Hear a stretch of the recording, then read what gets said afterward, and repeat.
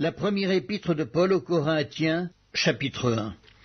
Paul, appelé à être apôtre de Jésus-Christ par la volonté de Dieu, et le frère Sostène à l'Église de Dieu qui est à Corinthe, à ceux qui ont été sanctifiés en Jésus-Christ, appelés à être saints, et à tous ceux qui invoquent en quelque lieu que ce soit le nom de notre Seigneur Jésus-Christ, leur Seigneur et le nôtre, que la grâce et la paix vous soient données de la part de Dieu notre Père et du Seigneur Jésus-Christ. Je rends à mon Dieu de continuelles actions de grâce à votre sujet pour la grâce de Dieu qui vous a été accordée en Jésus-Christ. Car en lui vous avez été comblés de toutes les richesses qui concernent la parole et la connaissance, le témoignage de Christ ayant été solidement établi parmi vous, de sorte qu'il ne vous manque aucun don, dans l'attente où vous êtes de la manifestation de notre Seigneur Jésus-Christ. Il vous affermira aussi jusqu'à la fin, pour que vous soyez irréprochables au jour de notre Seigneur Jésus-Christ. Dieu est fidèle, lui qui vous a appelé à la communion de son Fils Jésus-Christ, notre Seigneur.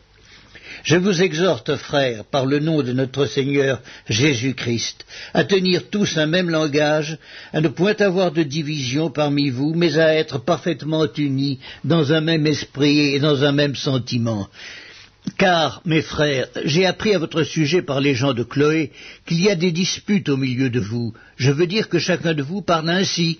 Moi, je suis de Paul, et moi d'Apollos, et moi de Céphas, et moi de Christ. Christ est-il divisé? Paul a-t-il été crucifié pour vous, ou est-ce au nom de Paul que vous avez été baptisé? Je rends grâce à Dieu de ce que je n'ai baptisé aucun de vous, excepté Crispus et Gaius, afin que personne ne dise que vous avez été baptisé en mon nom. J'ai encore baptisé la famille de Stéphanas. Du reste, je ne sache pas que j'ai baptisé quelque autre personne. Ce n'est pas pour baptiser que Christ m'a envoyé, c'est pour annoncer l'Évangile, et cela sans la sagesse du langage, afin que la croix de Christ ne soit pas rendue vaine. Car la prédication de la croix est une folie pour ceux qui périssent, mais pour nous qui sommes sauvés, elle est une puissance de Dieu. Aussi est-il écrit, je détruirai la sagesse des sages, et j'anéantirai l'intelligence des intelligents. Où est le sage? Où est le scribe? Où est le disputeur du siècle? Dieu n'a-t-il pas convaincu de folie la sagesse du monde? Car puisque le monde avec sa sagesse n'a point connu Dieu dans la sagesse de Dieu, il a plu à Dieu de sauver les croyants par la folie de la prédication. Les Juifs demandent des miracles et les Grecs cherchent la sagesse. Nous, nous prêchons Christ crucifié. Scandale pour les Juifs et folie pour les païens, mais puissance de Dieu et sagesse de Dieu pour ceux qui sont appelés tant Juifs que Grecs. Car la folie de Dieu est plus sage que les hommes et la faiblesse de Dieu est plus forte que les hommes. Considérez, frères, que parmi vous qui avez été appelés, il n'y a pas beaucoup de sages selon la chair, ni beaucoup de puissants, ni beaucoup de nobles, mais Dieu a choisi les choses folles du monde pour confondre les sages.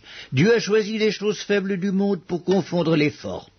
Et Dieu a choisi les choses viles du monde et celles qu'on méprise, celles qui ne sont point, pour réduire au néant celles qui sont, afin que nulle chair ne se glorifie devant Dieu. Or c'est par lui que vous êtes en Jésus-Christ, lequel, de par Dieu, a été fait pour nous sagesse, justice et sanctification et rédemption, afin, comme il est écrit, que celui qui se glorifie se glorifie dans le Seigneur. La première épître de Paul aux Corinthiens, chapitre 2. Pour moi, frère, lorsque je suis allé chez vous, ce n'est pas avec une supériorité de langage ou de sagesse que je suis allé vous annoncer le témoignage de Dieu, car je n'ai pas eu la pensée de savoir parmi vous autre chose que Jésus-Christ et Jésus-Christ crucifié. Moi-même, j'étais auprès de vous dans un état de faiblesse, de crainte et de grand tremblement, et ma parole et ma prédication ne reposaient pas sur les discours persuasifs de la sagesse, mais sur une démonstration d'esprit et de puissance, afin que votre foi fût fondée non sur la sagesse des hommes, mais sur la puissance de Dieu. Cependant, c'est une sagesse que nous prêchons parmi les parfaits, sagesse qui n'est pas de ce siècle, ni des chefs de ce siècle, qui vont être anéantis. Nous prêchons la sagesse de Dieu, mystérieuse et cachée, que Dieu, avant les siècles, avait destinée pour notre gloire, sagesse qu'aucun des chefs de ce siècle n'a connue, car s'ils l'eussent connue, ils n'auraient pas crucifié le Seigneur de gloire. Mais comme il est écrit, ce sont des choses que l'œil n'a point vues, que l'oreille n'a point entendues, et qui ne sont point montées au cœur de l'homme, des choses que Dieu a préparées pour ceux qui l'aiment. Dieu nous les a révélées par l'Esprit, car l'Esprit sonde tout, même les profondeurs de Dieu. Lequel des hommes en effet connaît les choses de l'homme, si ce n'est l'Esprit de l'homme qui est en lui? De même personne ne connaît les choses de Dieu, si ce n'est l'Esprit de Dieu. Or nous, nous n'avons pas reçu l'Esprit du monde, mais l'Esprit qui vient de Dieu, afin que nous connaissions les choses que Dieu nous a données par sa grâce. Et nous en parlons non avec des discours qu'enseigne la sagesse humaine, mais avec ceux qu'enseigne l'esprit, employant un langage spirituel pour les choses spirituelles. Mais l'homme animal ne reçoit pas les choses de l'esprit de Dieu, car elles sont une folie pour lui, et il ne peut les connaître parce que c'est spirituellement qu'on en juge. L'homme spirituel, au contraire, juge de tout, et il n'est lui-même jugé par personne, car qui a connu la pensée du Seigneur pour l'instruire? Or nous la pensée de Christ. La première épître de Paul aux Corinthiens, chapitre 3. Pour moi, frères, ce n'est pas comme à des hommes spirituels que j'ai pu vous parler, mais comme à des hommes charnels, comme à des enfants en Christ. Je vous ai donné du lait, non de la nourriture solide, car vous ne pouviez pas la supporter, et vous ne le pouvez pas même à présent parce que vous êtes encore charnel. En effet, puisqu'il y a parmi vous de la jalousie et des disputes, n'êtes-vous pas charnel et ne marchez-vous pas selon l'homme? Quand l'un dit Moi je suis de Paul et un autre Moi d'Apollos, n'êtes-vous pas des hommes? Qu'est-ce donc Apollos et qu'est-ce que Paul? Des serviteurs par le moyen desquels vous avez cru, selon que le Seigneur l'a donné à chacun. J'ai planté, Apollos a arrosé, mais Dieu a fait croître, en sorte que ce n'est pas celui qui plante qui est quelque chose, ni celui qui arrose, mais Dieu qui fait croître. Celui qui plante et celui qui arrose sont égaux, et chacun recevra sa propre récompense selon son propre travail. Car nous sommes ouvriers avec Dieu. Vous êtes le champ de Dieu, l'édifice de Dieu. Selon la grâce de Dieu qui m'a été donnée, j'ai posé le fondement comme un sage architecte et un autre bâti dessus. Mais que chacun prenne garde à la manière dont il bâtit dessus, car personne ne peut poser un autre fondement que celui qui a été posé, savoir Jésus-Christ. Or si quelqu'un bâtit sur ce fondement avec de l'or, de l'argent, des pierres précieuses, du bois, du foin, du chaume, l'œuvre de chacun sera manifestée car le jour la fera connaître, parce qu'elle se révélera dans le feu, et le feu éprouvera ce qu'est l'œuvre de chacun. Si l'œuvre bâtie par quelqu'un sur le fondement subsiste, il recevra une récompense. Si l'œuvre de quelqu'un est consumée, il perdra sa récompense. Pour lui, il sera sauvé, mais comme au travers du feu. Ne savez-vous pas que vous êtes le temple de Dieu et que l'Esprit de Dieu habite en vous? Si quelqu'un détruit le temple de Dieu, Dieu le détruira, car le temple de Dieu est saint, et c'est ce que vous êtes, que nul ne s'abuse lui-même. Si quelqu'un parmi vous pense être sage selon ce siècle, qu'il devienne fou afin de devenir sage, car la sagesse de ce monde est une folie devant Dieu. Aussi est-il écrit, il prend les sages dans leur ruse. Et encore, le Seigneur connaît les pensées des sages, il sait qu'elles sont vaines que personne donc ne mette sa gloire dans des hommes, car tout est à vous, soit Paul, soit Apollos, soit Céphas, soit le monde, soit la vie, soit la mort, soit les choses présentes, soit les choses à venir. Tout est à vous, et vous êtes à Christ, et Christ est à Dieu. La première épître de Paul aux Corinthiens, chapitre 4 ainsi qu'on nous regarde comme des serviteurs de Christ et des dispensateurs des mystères de Dieu. Du reste, ce qu'on demande des dispensateurs, c'est que chacun soit trouvé fidèle. Pour moi, il m'importe fort peu d'être jugé par vous ou par un tribunal humain. Je ne me juge pas non plus moi-même, car je ne me sens coupable de rien, mais ce n'est pas pour cela que je suis justifié. Celui qui me juge, c'est le Seigneur.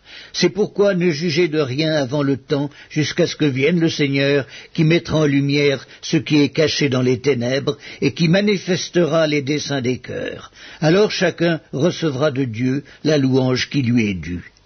C'est à cause de vous, frères, que j'ai fait de ces choses une application à ma personne et à celle d'Apollos, afin que vous appreniez en nos personnes à ne pas aller au-delà de ce qui est écrit, et que nul de vous ne conçoive de l'orgueil en faveur de l'un contre l'autre. Car qui est-ce qui te distingue? Qu'as-tu que tu n'aies reçu? Et si tu l'as reçu, pourquoi te glorifies-tu comme si tu ne l'avais pas reçu? Déjà vous êtes rassasiés, déjà vous êtes riches. Sans nous, vous avez commencé à régner. Et puissiez-vous régner en effet, afin que nous aussi nous régnions avec vous. Car Dieu, ce me semble, a fait de nous, apôtres, les derniers des hommes, des condamnés à mort en quelque sorte, puisque nous avons été en spectacle au monde, aux anges et aux hommes. Nous sommes fous à cause de Christ, mais vous, vous êtes sages en Christ. Nous sommes faibles, mais vous êtes forts. Vous êtes honorés, nous sommes méprisés. Jusqu'à cette heure, nous souffrons la faim, la soif, la Nous sommes maltraités, errants çà et là. Nous nous fatiguons à travailler de nos propres mains. Injuriés, nous bénissons. Persécutés, nous supportons. Calomniés, nous parlons avec bonté. Nous sommes devenus comme les balayures du monde, le rebut de tous, jusqu'à maintenant. Ce n'est pas pour vous faire honte que j'écris ces choses, mais je vous avertis comme mes enfants bien-aimés. Car quand vous auriez dix mille maîtres en Dieu, vous n'avez cependant pas plusieurs pères, puisque c'est moi qui vous ai engendré en Jésus-Christ par l'Évangile. Je vous en conjure donc, soyez mes imitateurs. Pour cela, je vous ai envoyé Timothée, qui est mon enfant bien-aimé et fidèle dans le Seigneur. Il vous rappellera quelles sont mes voies en Christ, quelle est la manière dont j'enseigne partout, dans toutes les églises. Quelques-uns se sont enflés d'orgueil comme si je ne devais pas aller chez vous, mais j'irai bientôt chez vous, si c'est la volonté du Seigneur, et je connaîtrai non les paroles mais la puissance de ceux qui se sont enflés. Car le royaume de Dieu ne consiste pas en paroles mais en puissance. Que voulez-vous? Que j'aille chez vous avec une verge ou avec amour ou dans un esprit de douceur?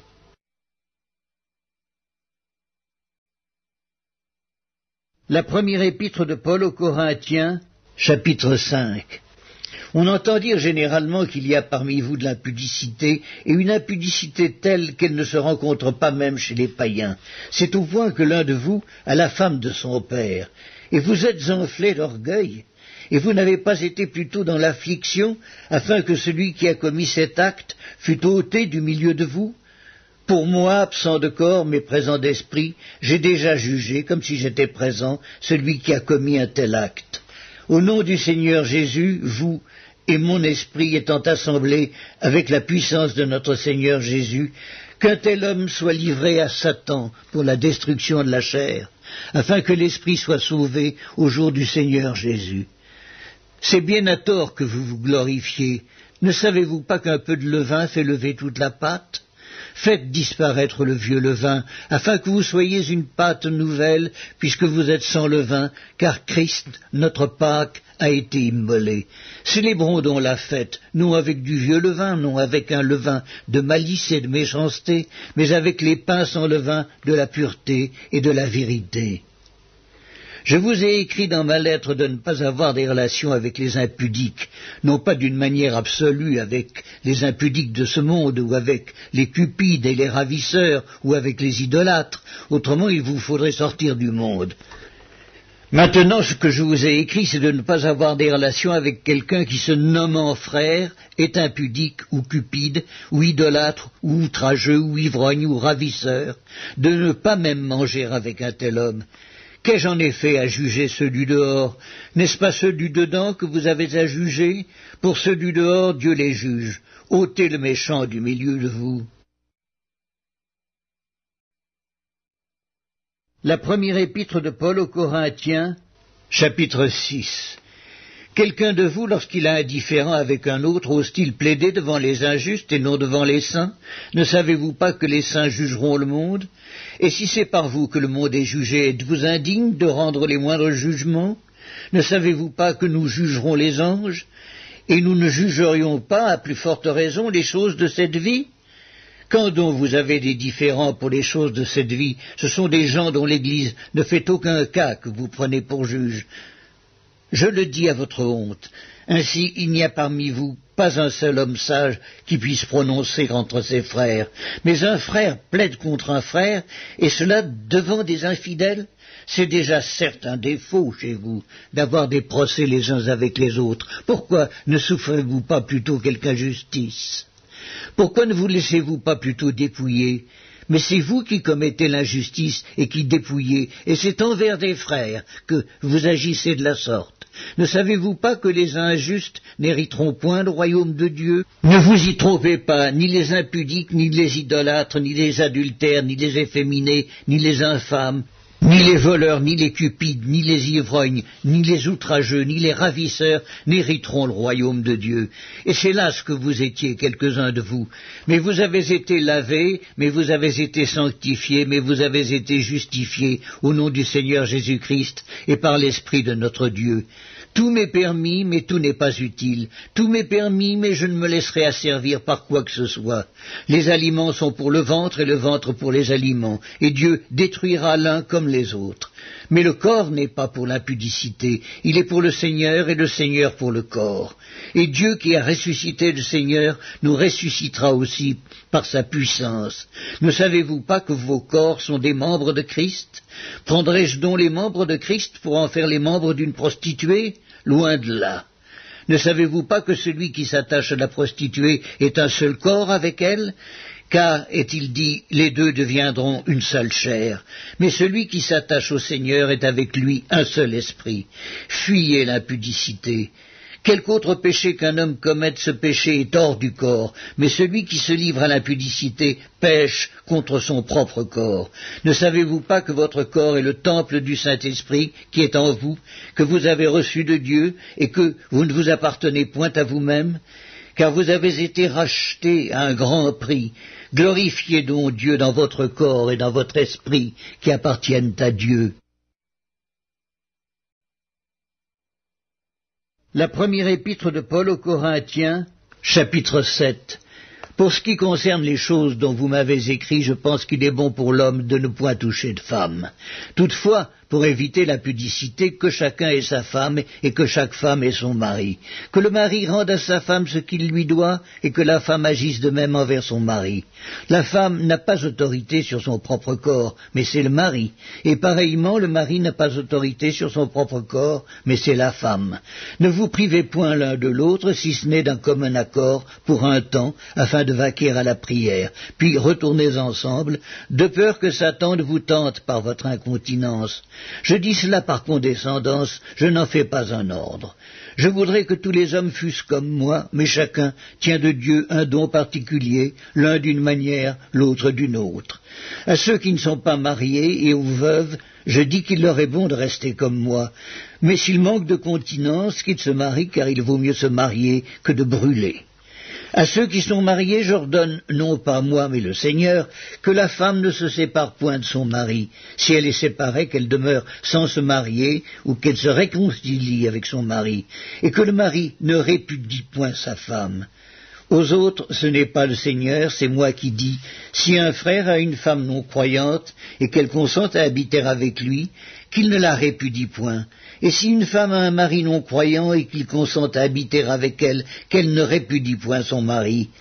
Car le mari non croyant est sanctifié par la femme, et la femme non croyante est sanctifiée par le frère.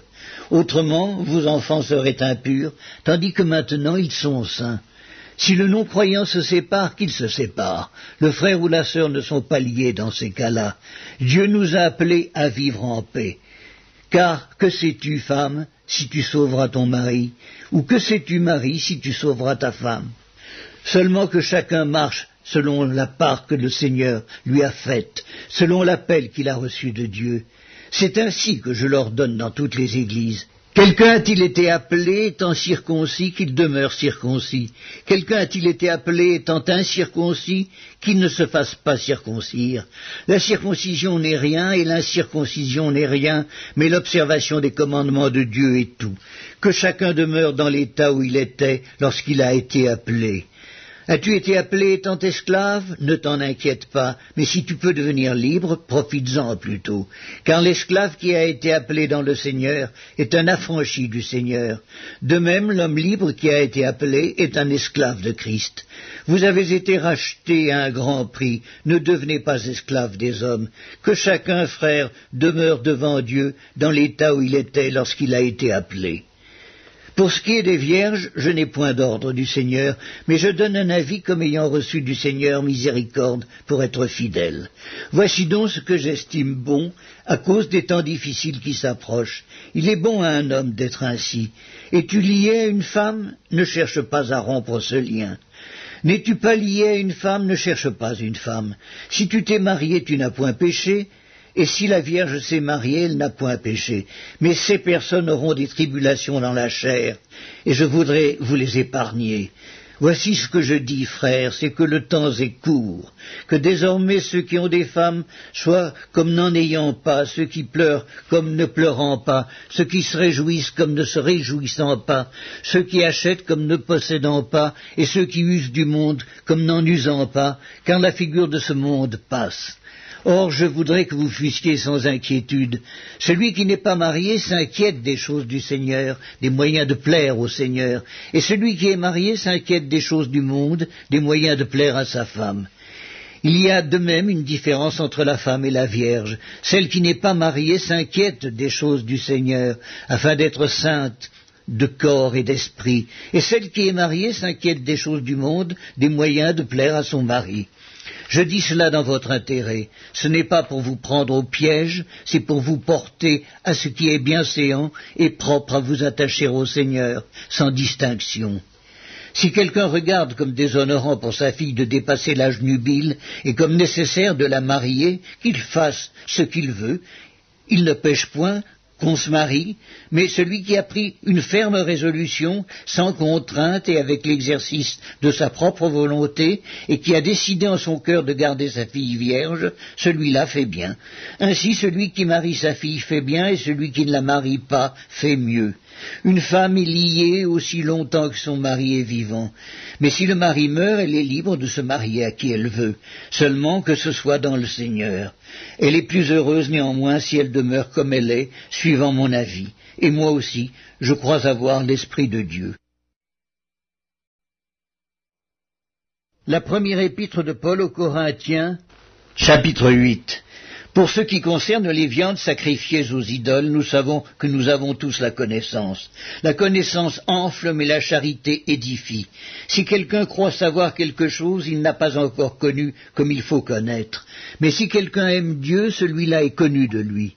Pour ce qui est donc de manger des viandes sacrifiées aux idoles, nous savons qu'il n'y a point d'idole dans le monde et qu'il n'y a qu'un seul Dieu. Car s'il est des êtres qui sont appelés dieux, soit dans le ciel, soit sur la terre, comme il existe réellement plusieurs dieux et plusieurs seigneurs, néanmoins pour nous il n'y a qu'un seul Dieu le Père, de qui viennent toutes choses et pour qui nous sommes, et un seul Seigneur, Jésus-Christ, par qui sont toutes choses et par qui nous sommes. Mais cette connaissance n'est pas chez tous. Quelques-uns, d'après la manière dont ils envisagent encore l'idole, mangent de ces viandes comme étant sacrifiées aux idoles, et leur conscience qui est faible en est souillée.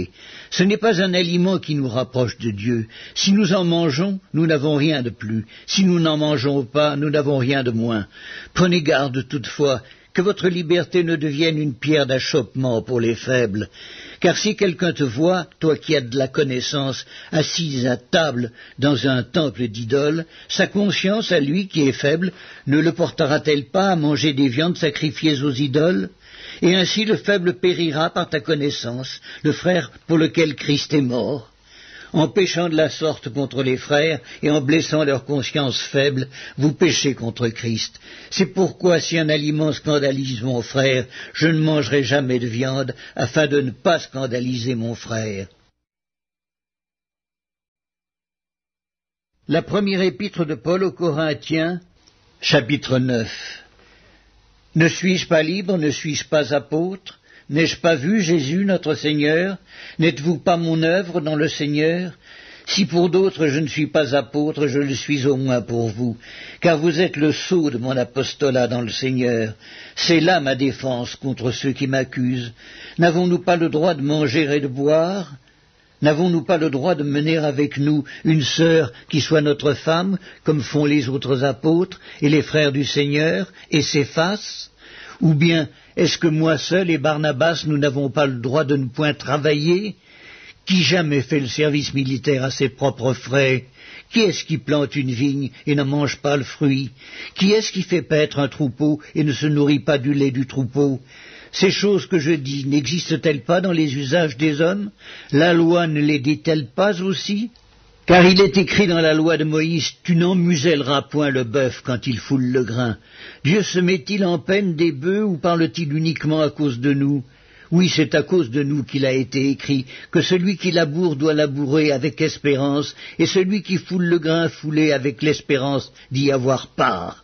Si nous avons semé parmi vous des biens spirituels, est-ce une grosse affaire si nous moissonnons vos biens temporels? Si d'autres jouissent de ce droit sur vous, n'est-ce pas plutôt à nous d'en jouir? Mais nous n'avons point usé de ce droit. Au contraire, nous souffrons tout afin de ne pas créer d'obstacles à l'évangile de Christ. Ne savez-vous pas que ceux qui remplissent les fonctions sacrées sont nourris par le temple, que ceux qui servent à l'autel ont part à l'autel? De même aussi le Seigneur a ordonné à ceux qui annoncent l'Évangile de vivre de l'Évangile. Pour moi je n'ai usé d'aucun de ces droits, et ce n'est pas afin de les réclamer en ma faveur que j'écris ainsi, car j'aimerais mieux mourir que de me laisser enlever ce sujet de gloire. Si j'annonce l'Évangile, ce n'est pas pour moi un sujet de gloire, car la nécessité m'en est imposée, et malheur à moi si je n'annonce pas l'Évangile. Si je le fais de bon cœur, j'en ai la récompense, mais si je le fais malgré moi, c'est une charge qui m'est confiée. Quelle est donc ma récompense? C'est d'offrir gratuitement l'évangile que j'annonce, sans user de mon droit de prédicateur de l'évangile car bien que je sois libre à l'égard de tous, je me suis rendu le serviteur de tous, afin de gagner le plus grand nombre. Avec les Juifs, j'ai été comme Juif afin de gagner les Juifs, avec ceux qui sont sous la loi, comme sous la loi, quoique je ne sois pas moi-même sous la loi, afin de gagner ceux qui sont sous la loi. Avec ceux qui sont sans loi, comme sans loi, quoique je ne sois point sans la loi de Dieu, étant sous la loi de Christ, afin de gagner ceux qui sont sans la loi.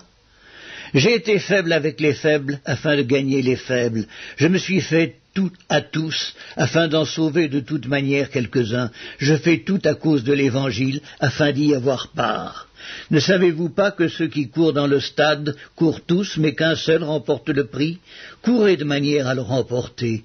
Tous ceux qui combattent s'imposent toute espèce d'abstinence, et ils le font pour obtenir une couronne corruptible. Mais nous, faisons-le pour une couronne incorruptible. Moi donc je cours, non pas comme à l'aventure, je frappe, non pas comme battant l'air, mais je traite durement mon corps et je le tiens assujetti, de peur d'être moi-même rejeté après avoir prêché aux autres. La première épître de Paul aux Corinthiens, chapitre 10. Frères, je ne veux pas que vous ignoriez que nos pères ont tous été sous la nuée, qu'ils ont tous passé au travers de la mer, qu'ils ont tous été baptisés en Moïse dans la nuée et dans la mer, qu'ils ont tous mangé le même aliment spirituel et qu'ils ont tous bu le même breuvage spirituel, car ils buvaient à un rocher spirituel qui les suivait, et ce rocher était Christ. Mais la plupart d'entre eux ne furent point agréables à Dieu, puisqu'ils périrent dans le désert. Or ces choses sont arrivées pour nous servir d'exemple, afin que nous n'ayons pas de mauvais désirs, comme ils en ont eu. Ne devenez point idolâtres comme quelques-uns d'entre eux, selon qu'il est écrit Le peuple s'assit pour manger et pour boire, puis ils se levèrent pour se divertir. Ne nous livrons point à l'impudicité, comme quelques-uns d'eux s'y livrèrent, de sorte qu'il en tomba vingt-trois mille en un seul jour. Ne tentons point le Seigneur comme le tentèrent quelques-uns d'entre eux qui périrent par les serpents. Ne murmurez point comme murmurèrent quelques-uns d'eux qui périrent par l'exterminateur. Ces choses leur sont arrivées pour servir d'exemple, et elles ont été écrites pour notre instruction, à nous, qui sommes parvenus à la fin des siècles. Ainsi donc que celui qui croit être debout prenne garde de tomber. Aucune tentation ne vous est survenue qui n'ait été humaine, et Dieu qui est fidèle ne permettra pas que vous soyez tentés au-delà de vos forces. Mais avec la tentation, il préparera aussi le moyen d'en sortir, afin que vous puissiez la supporter. C'est pourquoi, mes bien-aimés, fuyez l'idolâtrie. Je parle comme à des hommes intelligents. Jugez vous-même de ce que je dis. La coupe de bénédiction que nous bénissons n'est-elle pas la communion au sang de Christ? Le pain que nous rompons n'est-il pas la communion au corps de Christ Puisqu'il y a un seul pain, nous qui sommes plusieurs, nous formons un seul corps, car nous participons tous à un même pain. Voyez les Israélites selon la chair. Ceux qui mangent les victimes ne sont-ils pas en communion avec l'autel Que dis-je donc Que la viande sacrifiée aux idoles est quelque chose ou qu'une idole est quelque chose Nullement. Je dis que ce qu'on sacrifie, on le sacrifie à des démons et non à Dieu. Or, je ne veux pas que vous soyez en communion avec les démons. Vous ne pouvez boire la coupe du Seigneur et la coupe des démons. Vous ne pouvez participer à la table du Seigneur et à la table des démons. Voulons-nous provoquer la jalousie du Seigneur? Sommes-nous plus forts que lui? Tout est permis, mais tout n'est pas utile. Tout est permis, mais tout n'édifie pas.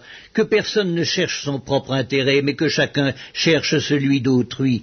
Mangez de tout ce qui se vend au marché, sans vous enquérir de rien, par motif de conscience. Car la terre est au Seigneur et tout ce qu'elle renferme. Si un non-croyant vous invite et que vous vouliez aller, mangez de tout ce qu'on vous présentera, sans vous enquérir de rien, par motif de conscience. Mais si quelqu'un vous dit, ceci a été offert en sacrifice, non mangez pas à cause de celui qui a donné l'avertissement et à cause de la conscience. Je parle ici non de votre conscience, mais de celle de l'autre. Pourquoi en effet ma liberté serait-elle jugée par une conscience étrangère? Si je mange avec action de grâce, pourquoi serais-je blâmé au sujet d'une chose dont je rends grâce? Soit donc que vous mangiez, soit que vous buviez, soit que vous fassiez quelque autre chose, faites tout pour la gloire de Dieu. Ne soyez en scandale ni aux Juifs, ni aux Grecs, ni à l'Église de Dieu, de la même manière que moi aussi, je m'efforce en toute chose de complaire à tous, cherchant non mon avantage, mais celui du plus grand nombre, afin qu'ils soient sauvés. La première épître de Paul aux Corinthiens, chapitre 11. Soyez mes imitateurs comme je le suis moi-même de Christ.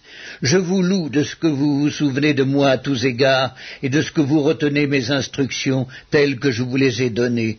Je veux cependant que vous sachiez que Christ est le chef de tout homme, que l'homme est le chef de la femme et que Dieu est le chef de Christ. Tout homme qui prie ou qui prophétise, la tête couverte, déshonore son chef. Toute femme, au contraire, qui prie ou qui prophétise, la tête non voilée, déshonore son chef. C'est comme si elle était rasée. Car si une femme n'est pas voilée, qu'elle se coupe aussi les cheveux. Or s'il est honteux pour une femme d'avoir les cheveux coupés ou d'être rasée, qu'elle se voile. L'homme ne doit pas se couvrir la tête, puisqu'il est l'image et la gloire de Dieu, tandis que la femme est la gloire de l'homme. En effet, l'homme n'a pas été tiré de la femme, mais la femme a été tirée de l'homme. Et l'homme n'a pas été créé à cause de la femme, mais la femme a été créée à cause de l'homme. C'est pourquoi la femme, à cause des anges, doit avoir sur la tête une marque de l'autorité dont elle dépend. Toutefois, dans le Seigneur, la femme n'est point sans homme, ni l'homme sans la femme. Car de même que la femme a été tirée de l'homme, de même l'homme existe par la femme, et tout vient de Dieu. Jugez-en vous-même, est-il convenable qu'une femme prie Dieu sans être voilée? La nature elle-même ne vous enseigne-t-elle pas que c'est une honte pour l'homme de porter de longs cheveux, mais que c'est une gloire pour la femme d'en porter, parce que la chevelure lui a été donnée comme voile? Si quelqu'un se plaît à contester, nous n'avons pas cette habitude, non plus que les églises de Dieu. En donnant cet avertissement, ce que je ne loue point, c'est que vous vous assemblez non pour devenir meilleur, mais pour devenir pire. Et d'abord, j'apprends que lorsque vous vous réunissez en assemblée, il y a parmi vous des divisions, et je le crois en partie car il faut qu'il y ait aussi des sectes parmi vous, afin que ceux qui sont approuvés soient reconnus comme tels au milieu de vous.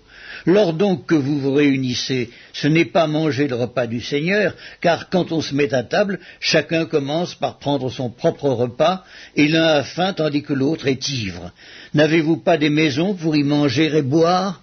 Ou méprisez-vous l'Église de Dieu et faites-vous honte à ceux qui n'ont rien? Que vous dirais-je? Vous louerai-je En cela je ne vous loue point. Car j'ai reçu du Seigneur ce que je vous ai enseigné, c'est que le Seigneur Jésus, dans la nuit où il fut livré, prit du pain, et après avoir rendu grâce, le rompit et dit, Ceci est mon corps qui est rompu pour vous. Faites ceci en mémoire de moi. De même, après avoir soupé, il prit la coupe et dit, Cette coupe est la nouvelle alliance en mon sang. Faites ceci en mémoire de moi toutes les fois que vous en boirez. Car toutes les fois que vous mangez ce pain et que vous buvez cette coupe, vous annoncez la mort du Seigneur jusqu'à ce qu'il vienne. C'est pourquoi celui qui mangera le pain ou boira la coupe du Seigneur indignement sera coupable envers le corps et le sang du Seigneur. Que chacun donc s'éprouve soi-même et qu'ainsi il mange du pain et boive la coupe. Car celui qui mange et boit sans discerner le corps du Seigneur mange et boit un jugement contre lui-même. C'est pour cela qu'il y a parmi vous beaucoup d'infirmes et de malades, et qu'un grand nombre sont morts. Si nous nous jugions nous-mêmes, nous ne serions pas jugés. Mais quand nous sommes jugés, nous sommes châtiés par le Seigneur, afin que nous ne soyons pas condamnés avec le monde. Ainsi, mes frères, lorsque vous vous réunissez pour le repas, attendez-vous les uns les autres. Si quelqu'un a faim, qu'il mange chez lui, afin que vous ne vous réunissiez pas pour attirer un jugement sur vous. Je réglerai les autres choses quand je serai arrivé. La première épître de Paul aux Corinthiens, chapitre 12. Pour ce qui concerne les dons spirituels, je ne veux pas, frères, que vous soyez dans l'ignorance. Vous savez que lorsque vous étiez païen, vous vous laissiez entraîner vers les idoles muettes, selon que vous étiez conduits. C'est pourquoi je vous déclare que nul, s'il parle par l'Esprit de Dieu, ne dit Jésus est anathème, et que nul ne peut dire Jésus est le Seigneur, si ce n'est par le Saint-Esprit. Il y a diversité de dons, mais le même Esprit, diversité de ministères, mais le même Seigneur, diversité d'opérations, mais le même Dieu, qui opère tout en tous.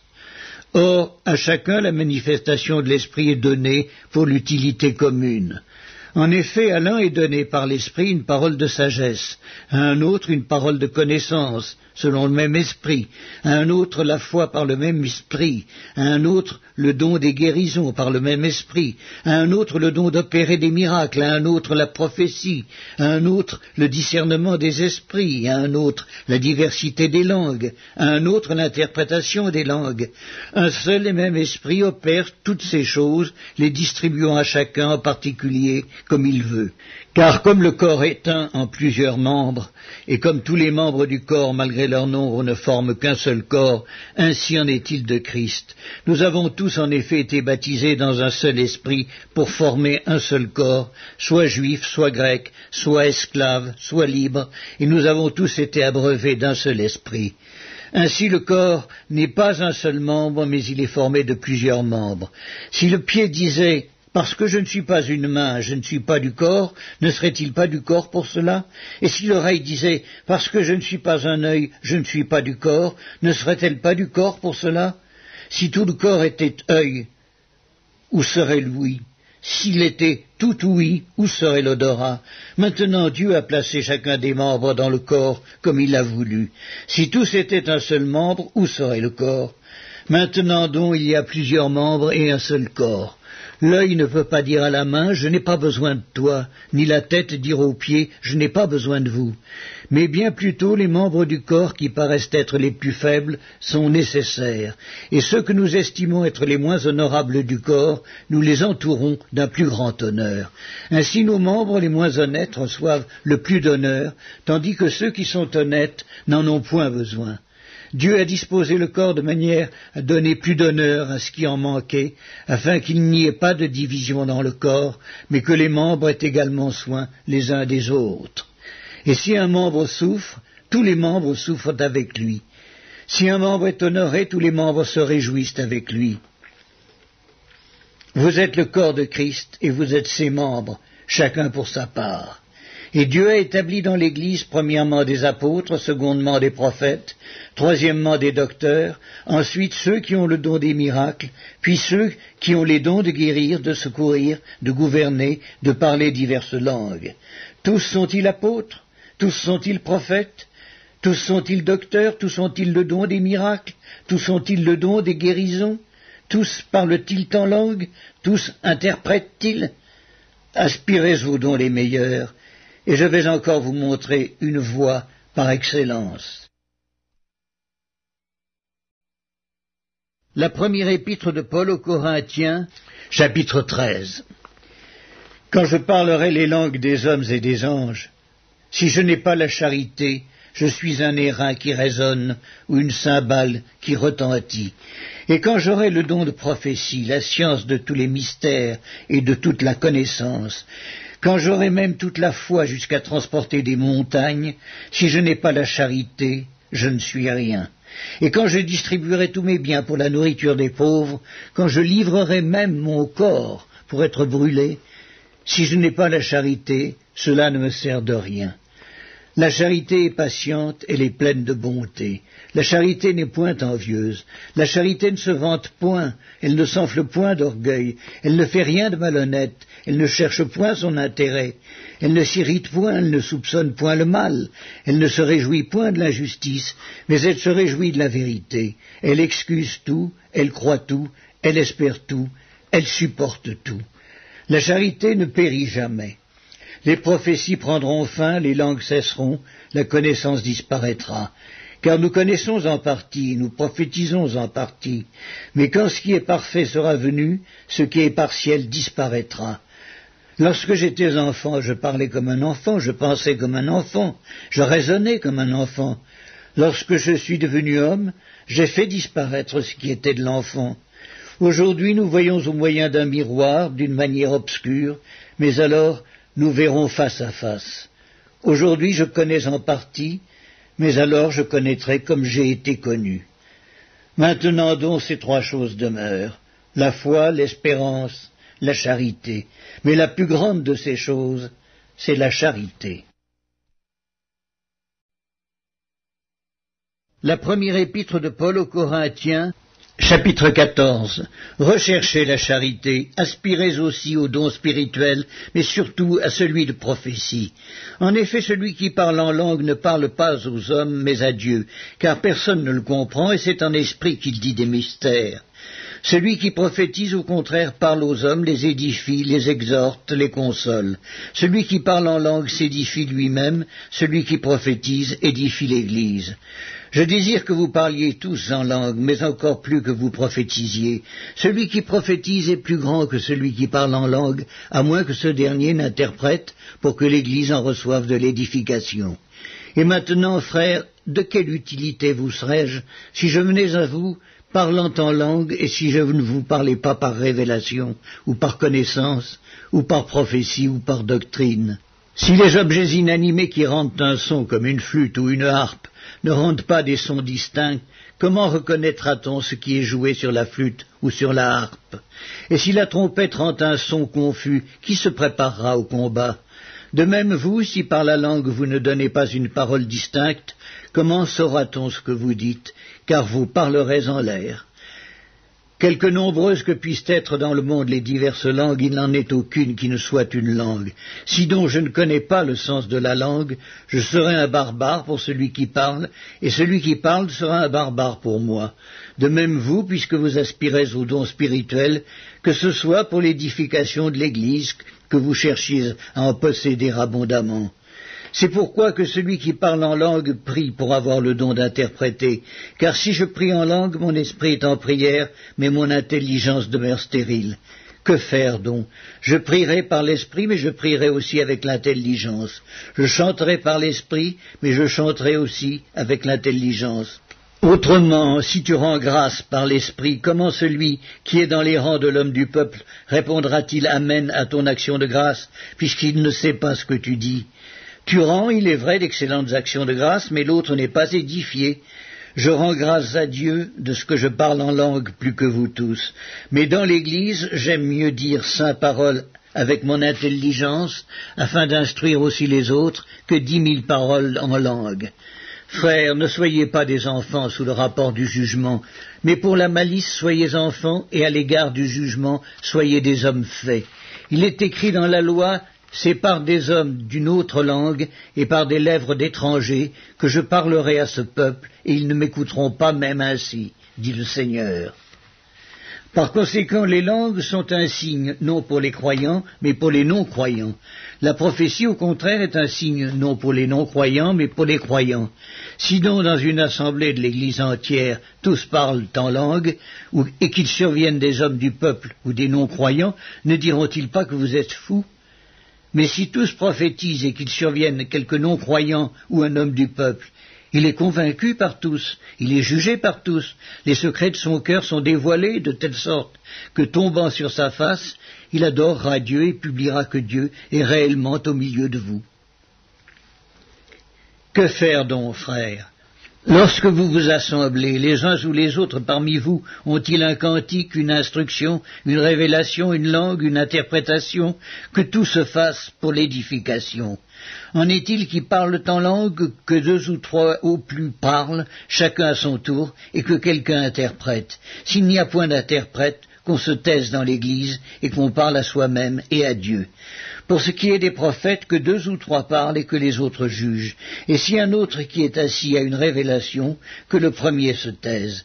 Car vous pouvez tous prophétiser successivement, afin que tous soient instruits et que tous soient exhortés.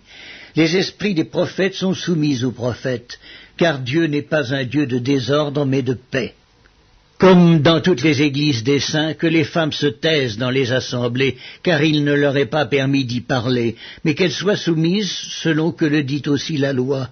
Si elles veulent s'instruire sur quelque chose, qu'elles interrogent leur mari à la maison, car il est malséant à une femme de parler dans l'église. Est-ce de chez vous que la parole de Dieu est sortie, ou est-ce à vous seul qu'elle est parvenue? Si quelqu'un croit être prophète ou inspiré, qu'il reconnaisse que ce que je vous écris est un commandement du Seigneur, et si quelqu'un l'ignore, qu'il l'ignore. Ainsi donc, frères, aspirez au don de prophétie, et n'empêchez pas de parler en langue, mais que tout se fasse avec bienséance et avec ordre. La première épître de Paul aux Corinthiens, chapitre 15. Je vous rappelle, frères, l'évangile que je vous ai annoncé, que vous avez reçu, dans lequel vous avez persévéré et par lequel vous êtes sauvés, si vous le retenez tel que je vous l'ai annoncé. Autrement, vous auriez cru en vain. Je vous ai enseigné avant tout, comme je l'avais aussi reçu, que Christ est mort pour nos péchés, selon les Écritures, qu'il a été enseveli et qu'il est ressuscité le troisième jour, selon les Écritures, et qu'il est apparu à Céphas, puis aux douze. Ensuite il est apparu à plus de cinq cents frères à la fois, dont la plupart sont encore vivants et dont quelques-uns sont morts. Ensuite il est apparu à Jacques, puis à tous les apôtres. Après eux tous, il m'est aussi apparu à moi, comme à l'avorton, car je suis le moindre des apôtres, je ne suis pas digne d'être appelé apôtre, parce que j'ai persécuté l'Église de Dieu, par la grâce de Dieu, je suis ce que je suis, et sa grâce envers moi n'a pas été vaine. Loin de là, j'ai travaillé plus qu'eux tous, non pas moi toutefois, mais la grâce de Dieu qui est avec moi. Ainsi donc, que ce soit moi, que ce soit eux, voilà ce que nous prêchons, et c'est ce que vous avez cru. Or, si l'on prêche que Christ est ressuscité des morts, comment quelques-uns parmi vous disent-ils qu'il n'y a point de résurrection des morts? S'il n'y a point de résurrection des morts, Christ non plus n'est pas ressuscité. Et si Christ n'est pas ressuscité, notre prédication est donc vaine, et votre foi aussi est vaine. Il se trouve même que nous sommes de faux témoins à l'égard de Dieu, puisque nous avons témoigné contre Dieu qu'il a ressuscité Christ, tandis qu'il ne l'aurait pas ressuscité si les morts ne ressuscitent point. Car si les morts ne ressuscitent point, Christ non plus n'est pas ressuscité. Et si Christ n'est pas ressuscité, votre foi est vaine. Vous êtes encore dans vos péchés, et par conséquent aussi, ceux qui sont morts en Christ sont perdus. Si c'est dans cette vie seulement que nous espérons en Christ, nous sommes les plus malheureux de tous les hommes. Mais maintenant, Christ est ressuscité des morts, il est les prémices de ceux qui sont morts. Car puisque la mort est venue par un homme, c'est aussi par un homme qu'est venue la résurrection des morts. Et comme tous meurent en Adam, de même aussi tous revivront en Christ, mais chacun en son rang. Christ comme prémisse, puis ceux qui appartiennent à Christ lors de son avènement. Ensuite viendra la fin, quand il remettra le royaume à celui qui est Dieu et Père, après avoir détruit toute domination, toute autorité et toute puissance, car il faut qu'il règne jusqu'à ce qu'il ait mis tous les ennemis sous ses pieds. Le dernier ennemi qui sera détruit, c'est la mort. Dieu en effet a tout mis sous ses pieds, mais lorsqu'il dit que tout lui a été soumis, il est évident que celui qui lui a soumis toute chose est excepté. Et lorsque toutes choses lui auront été soumises, alors le Fils lui-même sera soumis à celui qui lui a soumis toutes choses, afin que Dieu soit tout en tous. Autrement, que feraient ceux qui se font baptiser pour les morts? Si les morts ne ressuscitent absolument pas, pourquoi se font-ils baptiser pour eux? Et nous, pourquoi sommes-nous à toute heure en péril? Chaque jour je suis exposé à la mort, je l'atteste, frère, par la gloire dont vous êtes pour moi le sujet, en Jésus-Christ notre Seigneur. Si c'est dans des vues humaines que j'ai combattu contre les bêtes à Éphèse, quel avantage m'en revient-il Si les morts ne ressuscitent pas, mangeons et buvons, car demain nous mourrons. Ne vous y trompez pas, les mauvaises compagnies corrompent les bonnes mœurs. Revenez à vous-même comme il est convenable et ne péchez point, car quelques-uns ne connaissent pas Dieu, je le dis, à votre honte. Mais quelqu'un dira, comment les morts ressuscitent-ils et avec quel corps viennent-ils? Insensé, ce que tu sèmes ne reprend point vie s'il ne meurt. Et ce que tu sèmes, ce n'est pas le corps qui naîtra, c'est un simple grain, de blé peut-être, ou de quelque autre semence, puis Dieu lui donne un corps comme il lui plaît, et à chaque semence, il donne un corps qui lui est propre. Toute chair n'est pas la même chair, mais autre est la chair des hommes, autre celle des quadrupèdes, autre celle des oiseaux, autre celle des poissons. Il y a aussi des corps célestes et des corps terrestres, mais autre est l'éclat des corps célestes, autre celui des corps terrestres. Autre est l'éclat du soleil, autre l'éclat de la lune, et autre l'éclat des étoiles. Même une étoile diffère en éclat d'une autre étoile. Ainsi en est-il de la résurrection des morts. Le corps est semé corruptible, il ressuscite incorruptible. Il est semé méprisable, il ressuscite glorieux. Il est semé infirme, il ressuscite plein de force. Il est semé corps animal, il ressuscite corps spirituel. S'il y a un corps animal, il y a aussi un corps spirituel. C'est pourquoi il est écrit Le premier homme, Adam, devint une âme vivante. Le dernier Adam est devenu un esprit vivifiant. Mais ce qui est spirituel n'est pas le premier, c'est ce qui est animal. Ce qui est spirituel vient ensuite. Le premier homme tiré de la terre est terrestre, le second homme est du ciel. Tel est le terrestre, tels sont aussi les terrestres, et tel est le céleste, tels sont aussi les célestes. Et de même que nous avons porté l'image du terrestre, nous porterons aussi l'image du céleste. Ce que je dis, frères, c'est que la chair et le sang ne peuvent hériter le royaume de Dieu, et que la corruption n'hérite pas l'incorruptibilité. Voici, je vous dis un mystère, nous ne mourrons pas tous, mais tous nous serons changés en un instant, en un clin d'œil, à la dernière trompette. La trompette sonnera et les morts ressusciteront incorruptibles, et nous, nous serons changés car il faut que ce corps corruptible revête l'incorruptibilité et que ce corps mortel revête l'immortalité. Lorsque ce corps corruptible aura revêtu l'incorruptibilité et que ce corps mortel aura revêtu l'immortalité, alors s'accomplira la parole qui est écrite. La mort a été engloutie dans la victoire. Ô mort, où est ta victoire? Ô mort, où est ton aiguillon? L'aiguillon de la mort, c'est le péché, et la puissance du péché, c'est la loi. Mais grâce soit rendue à Dieu qui nous donne la victoire par notre Seigneur Jésus-Christ. Ainsi, mes frères bien-aimés, soyez fermes, inébranlables, travaillant de mieux en mieux à l'œuvre du Seigneur, sachant que votre travail ne sera pas vain dans le Seigneur. La première épître de Paul aux Corinthiens, chapitre 16. Pour ce qui concerne la collecte en faveur des saints, agissez vous aussi comme je l'ai ordonné aux églises de la Galatie. Que chacun de vous, le premier jour de la semaine, mette à part chez lui ce qu'il pourra, selon sa prospérité, afin qu'on n'attende pas à mon arrivée pour recueillir les dons.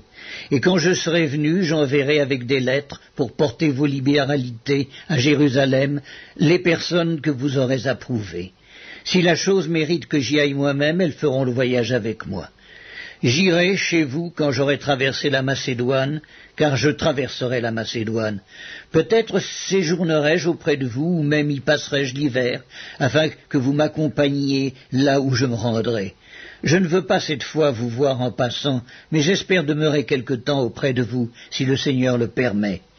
Je resterai néanmoins à Éphèse jusqu'à la Pentecôte, car une porte grande et d'un accès efficace m'est ouverte, et les adversaires sont nombreux.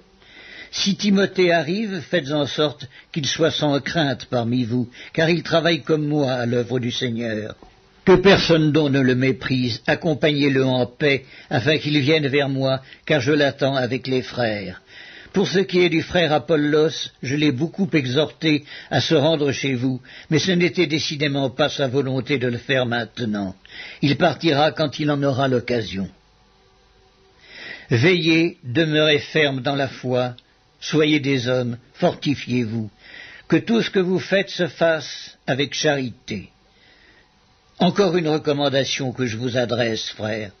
Vous savez que la famille de Stéphanas est les prémices de l'Achaïe et qu'elle s'est dévouée au service des saints.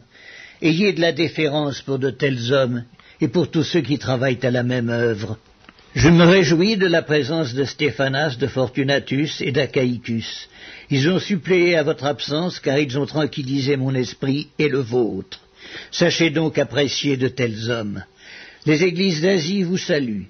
Aquilas et Priscille, avec l'église qui est dans leur maison, vous saluent beaucoup dans le Seigneur. Tous les frères vous saluent. Saluez-vous les uns les autres par un saint baiser. Je vous salue, moi, Paul, de ma propre main. Si quelqu'un n'aime pas le Seigneur, qu'il soit anathème. Maranatha. Que la grâce du Seigneur Jésus soit avec vous. Mon amour est avec vous tous en Jésus-Christ.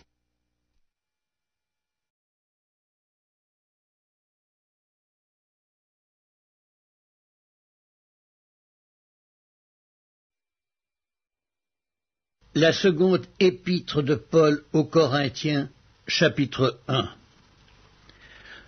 Paul, apôtre de Jésus-Christ par la volonté de Dieu, et le frère Timothée à l'Église de Dieu qui est à Corinthe, et à tous les saints qui sont dans toute l'Achaïe. Que la grâce et la paix vous soient données de la part de Dieu notre Père et du Seigneur Jésus-Christ. Béni soit Dieu, le Père de notre Seigneur Jésus-Christ, le Père des miséricordes et le Dieu de toute consolation, qui nous console dans toutes nos afflictions, afin que par la consolation dont nous sommes l'objet de la part de Dieu, nous puissions consoler ceux qui se trouvent dans quelque affliction. Car de même que les souffrances de Christ abondent en nous, de même notre consolation abonde par Christ. Si nous sommes affligés, c'est pour votre consolation et pour votre salut.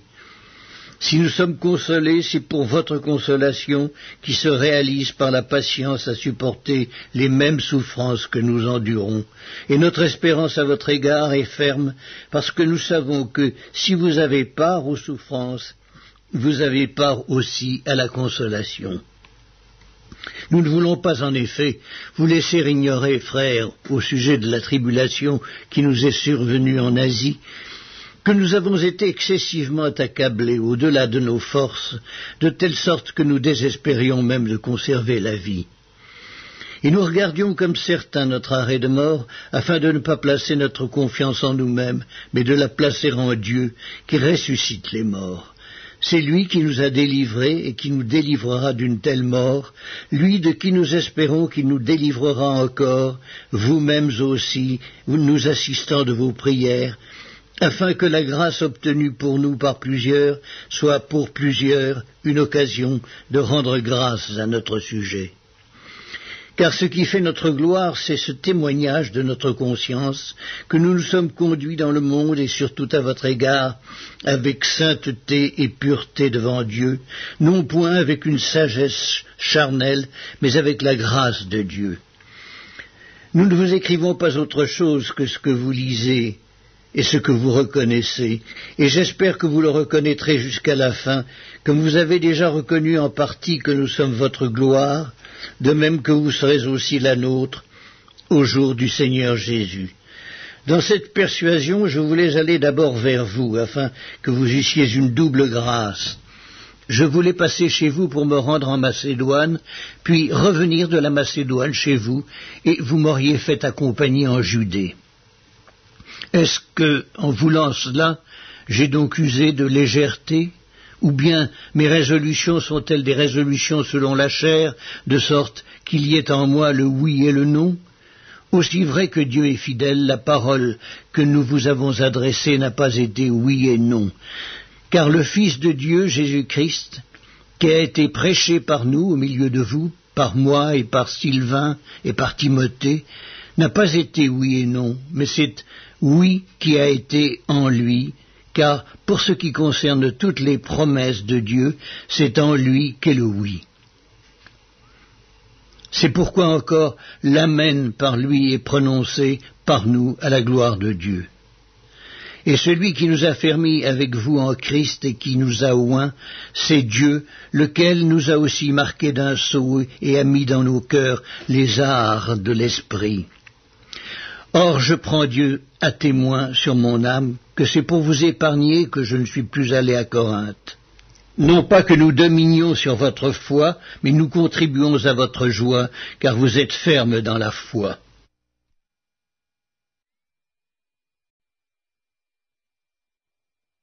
La seconde épître de Paul aux Corinthiens, chapitre 2. Je résolus donc en moi-même de ne pas retourner chez vous dans la tristesse, car si je vous attriste, qui peut me réjouir, sinon celui qui est attristé par moi? J'ai écrit comme je l'ai fait pour ne pas éprouver à mon arrivée de la tristesse de la part de ceux qui devaient me donner de la joie, ayant en vous tous cette confiance que ma joie est la vôtre à tous. C'est dans une grande affliction, le cœur angoissé et avec beaucoup de larmes que je vous ai écrit, non pas afin que vous fussiez attristés, mais afin que vous connussiez l'amour extrême que j'ai pour vous. Si quelqu'un a été une cause de tristesse, ce n'est pas moi qui l'a attristé, c'est vous tous, du moins en partie, pour ne rien exagérer. Il suffit pour cet homme du châtiment qui lui a été infligé par le plus grand nombre, en sorte que vous devez bien plutôt lui pardonner et le consoler, de peur qu'il ne soit accablé par une tristesse excessive. Je vous exhorte donc à faire acte de charité envers lui, car je vous ai écrit aussi dans le but de connaître, en vous mettant à l'épreuve, si vous êtes obéissants en toutes choses. Or, à vous qui pardonnez, je pardonne aussi. Et ce que j'ai pardonné, si j'ai pardonné quelque chose, c'est à cause de vous, en présence de Christ, afin de ne pas laisser à Satan l'avantage sur nous, car nous n'ignorons pas ses desseins. Au reste, lorsque je fus arrivé à Troas pour l'évangile de Christ, quoique le Seigneur m'y eût ouvert une porte, je n'eus point de repos d'esprit, parce que je ne trouvais pas Tite mon frère. C'est pourquoi, ayant pris congé d'eux, je partis pour la Macédoine. Grâce soit rendue à Dieu, qui nous fait toujours triompher en Christ, et qui répand par nous en tout lieu l'odeur de sa connaissance. Nous sommes en effet pour Dieu la bonne odeur de Christ, parmi ceux qui sont sauvés et parmi ceux qui périssent. Aux uns une odeur de mort, donnant la mort, aux autres une odeur de vie, donnant la vie. Et qui est suffisant pour ces choses? Car nous, ne falsifions point la parole de Dieu comme font plusieurs, mais c'est avec sincérité, mais c'est de la part de Dieu que nous parlons en Christ devant Dieu. La seconde épître de Paul aux Corinthiens, chapitre 3. Commençons-nous de nouveau à nous recommander nous-mêmes? Ou avons-nous besoin, comme quelques-uns, de lettres de recommandation auprès de vous ou de votre part? C'est vous qui êtes notre lettre, écrite dans nos cœurs, connue et lue de tous les hommes. Vous êtes manifestement une lettre de Christ, écrite par notre ministère, non avec de l'encre, mais avec l'Esprit du Dieu vivant, non sur des tables de pierre, mais sur des tables de chair, sur les cœurs. Cette assurance-là, nous l'avons par Christ auprès de Dieu. Ce n'est pas à dire que nous soyons par nous-mêmes capables de concevoir quelque chose comme venant de nous-mêmes. Notre capacité, au contraire, vient de Dieu. Il nous a aussi rendus capables d'être ministres d'une nouvelle alliance, non de la lettre, mais de l'esprit, car la lettre tue, mais l'esprit vivifie. Or, si le ministère de la mort, gravé avec des lettres sur des pierres, a été glorieux, au point que les fils d'Israël ne pouvaient fixer les regards sur le visage de Moïse, à cause de la gloire de son visage, bien que cette gloire fût passagère, combien le ministère de l'Esprit ne sera-t-il pas plus glorieux? Si le ministère de la condamnation a été glorieux, le ministère de la justice est de beaucoup supérieur en gloire. Et sous ce rapport, ce qui a été glorieux ne l'a point été à cause de cette gloire qui lui est supérieure. En effet, si ce qui était passager a été glorieux, ce qui est permanent est bien plus glorieux. Ayant donc cette espérance, nous usons d'une grande liberté, et nous ne faisons pas comme Moïse qui mettait un voile sur son visage, pour que les fils d'Israël ne fixassent pas les regards sur la fin de ce qui était passager, mais ils sont devenus durs d'entendement, car jusqu'à ce jour le même voile demeure quand ils font la lecture de l'Ancien Testament, et il ne se lève pas parce que c'est en Christ qu'il disparaît. Jusqu'à ce jour, quand on lit Moïse, un voile est jeté sur leur cœur. Mais lorsque les cœurs se convertissent au Seigneur, le voile est ôté. Or le Seigneur, c'est l'Esprit, et là où est l'Esprit du Seigneur, là est la liberté. Nous tous qui, le visage découvert, contemplons comme dans un miroir la gloire du Seigneur, nous sommes transformés en la même image, de gloire en gloire, comme par le Seigneur l'Esprit. La seconde épître de Paul aux Corinthiens, chapitre 4. C'est pourquoi, ayant ce ministère selon la miséricorde qui nous a été faite, nous ne perdons pas courage.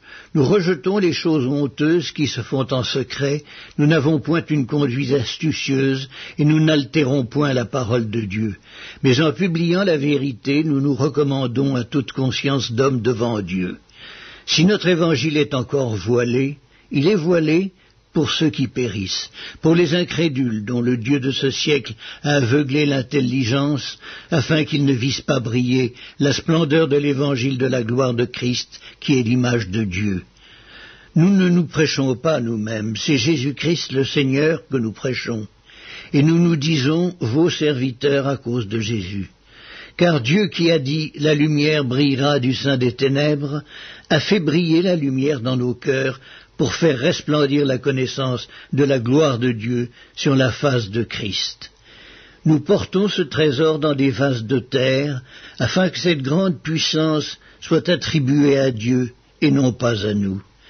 Nous sommes pressés de toute manière, mais non réduits à l'extrémité, dans la détresse, mais non dans le désespoir persécutés mais non abandonnés, abattus mais non perdus, portant toujours avec nous dans notre corps la mort de Jésus, afin que la vie de Jésus soit aussi manifestée dans notre corps. Car nous qui vivons, nous sommes sans cesse livrés à la mort à cause de Jésus, afin que la vie de Jésus soit aussi manifestée dans notre chair mortelle. Ainsi la mort agit en nous et la vie agit en nous.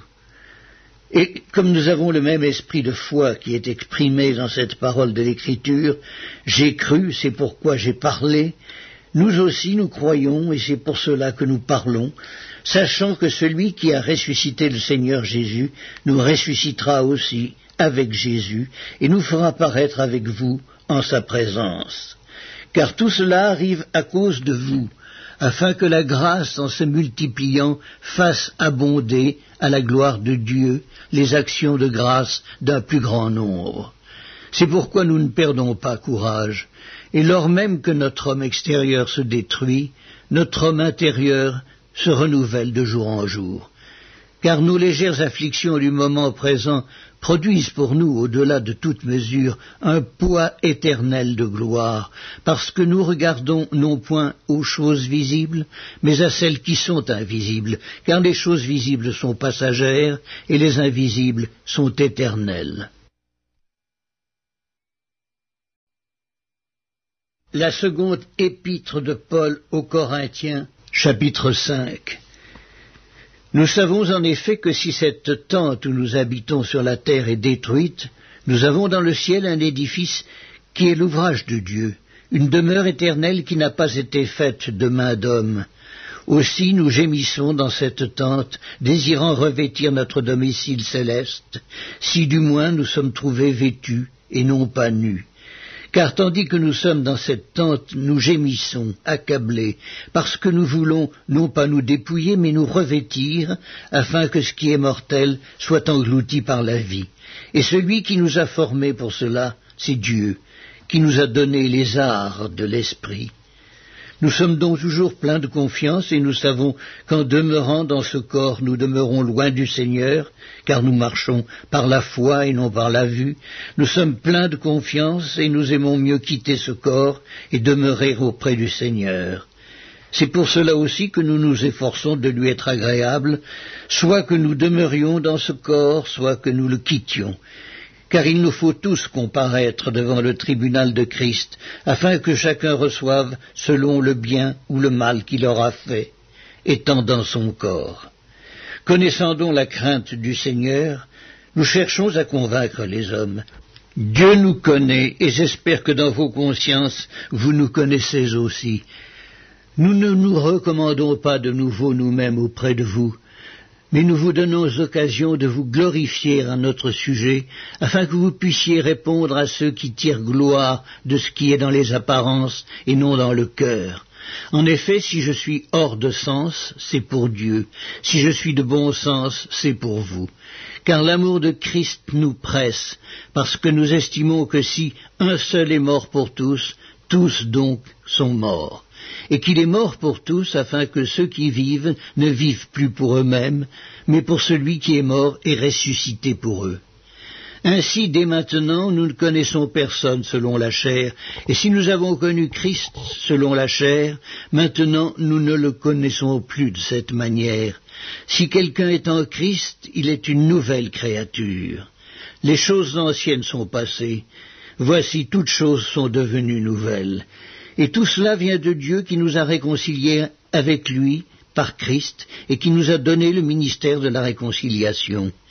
Car Dieu était en Christ, réconciliant le monde avec lui-même, en n'imputant point aux hommes leurs offenses, et il a mis en nous la parole de la réconciliation. Nous faisons donc les fonctions d'ambassadeurs pour Christ, comme si Dieu exhortait par nous. Nous vous en supplions au nom de Christ, soyez réconciliés avec Dieu. Celui qui n'a point connu le péché, il l'a fait devenir péché pour nous, afin que nous devenions en lui justice de Dieu.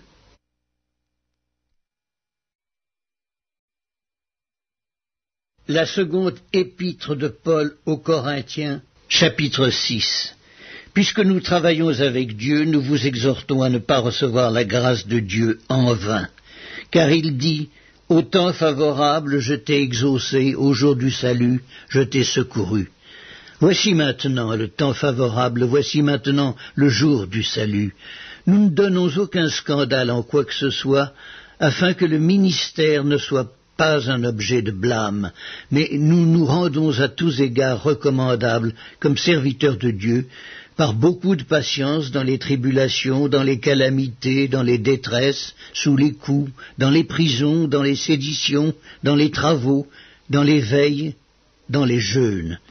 Par la pureté, par la connaissance, par la longanimité, par la bonté, par un esprit saint, par une charité sincère, par la parole de vérité, par la puissance de Dieu, par les armes offensives et défensives de la justice au milieu de la gloire et de l'ignominie, au milieu de la mauvaise et de la bonne réputation, étant regardé comme imposteur, quoique véridique, comme inconnu, quoique bien connu, comme mourant, et voici nous vivons, comme châtiés, quoique non mis à mort, comme attristés, et nous sommes toujours joyeux, comme pauvres, et nous en enrichissons plusieurs, comme n'ayant rien, et nous possédons toutes choses. Notre bouche s'est ouverte pour vous, Corinthiens, notre cœur s'est élargi. Vous n'êtes point à l'étroit au-dedans de nous, mais vos entrailles se sont rétrécies. Rendez-nous l'appareil, je vous parle comme à mes enfants, élargissez vous aussi. ne vous mettez pas avec les infidèles sous un joug étranger, car quel rapport y a-t-il entre la justice et l'iniquité? Ou qu'y a-t-il de commun entre la lumière et les ténèbres? Quel accord y a-t-il entre Christ et Bélial Ou quelle part a le fidèle avec l'infidèle Quel rapport y a-t-il entre le temple de Dieu et des idoles Car nous sommes le temple du Dieu vivant, comme Dieu l'a dit. J'habiterai et je marcherai au milieu d'eux. Je serai leur Dieu et ils seront mon peuple. C'est pourquoi sortez du milieu d'eux et séparez-vous, dit le Seigneur. Ne touchez pas à ce qui est impur, et je vous accueillerai. Je serai pour vous un père, et vous serez pour moi des fils et des filles, dit le Seigneur Tout-Puissant.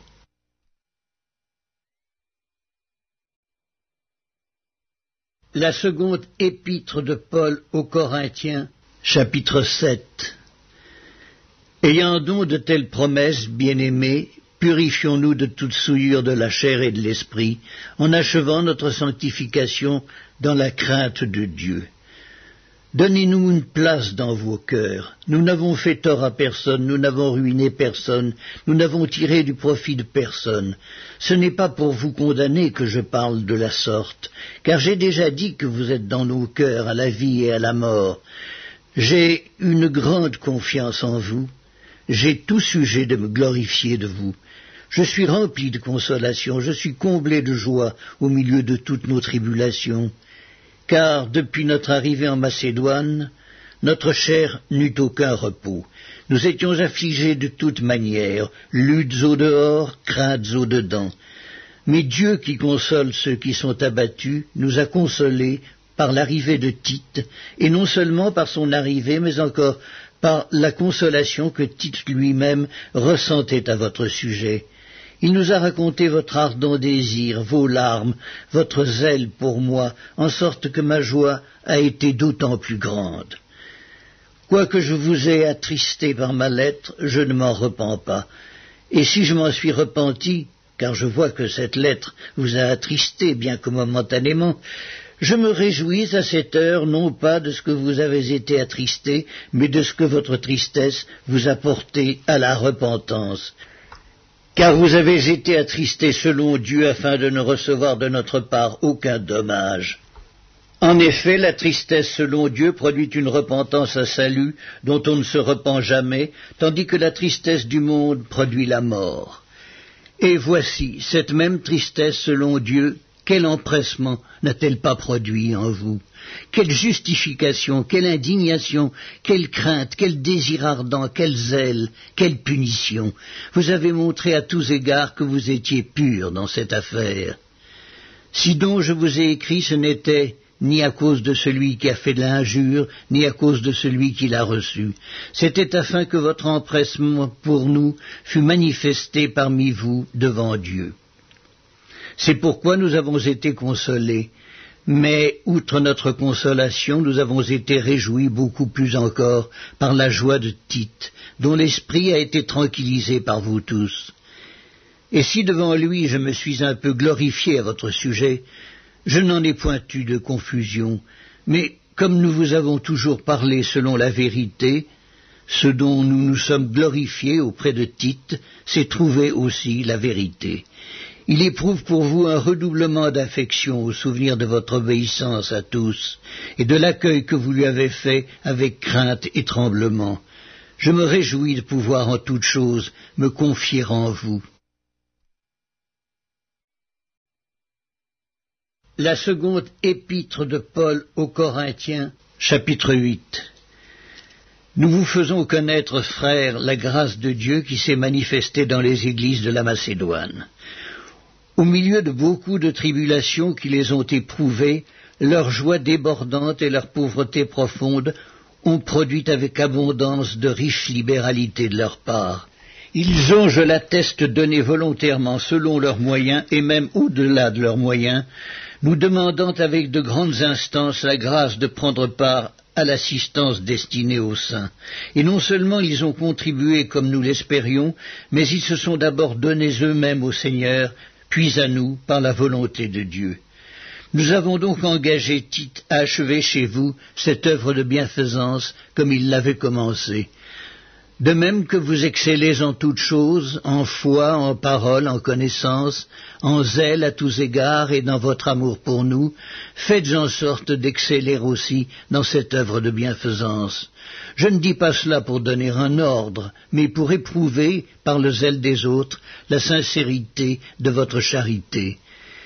Car vous connaissez la grâce de notre Seigneur Jésus-Christ, qui pour vous s'est fait pauvre, de riche qu'il était, afin que par sa pauvreté vous fussiez enrichis. C'est un avis que je donne là-dessus, car cela vous convient à vous qui non seulement avez commencé à agir, mais qui en avez eu la volonté dès l'année dernière. Achevez donc maintenant d'agir, afin que l'accomplissement selon vos moyens réponde à l'empressement que vous avez mis à vouloir. La bonne volonté, quand elle existe, est agréable en raison de ce qu'elle peut avoir à sa disposition et non de ce qu'elle n'a pas car il s'agit non de vous exposer à la détresse pour soulager les autres, mais de suivre une règle d'égalité.